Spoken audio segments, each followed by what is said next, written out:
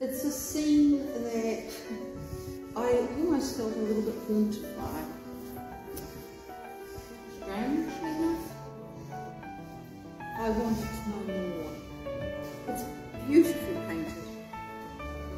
It tells me enough about the quality of paint and composition and then the idea. Those two little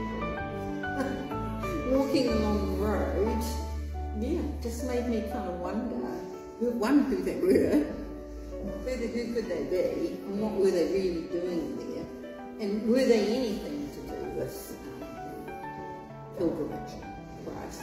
Who knows? They might have been just coincidentally.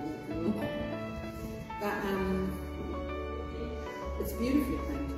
This cross absolutely grasps the whole composition and holds it right.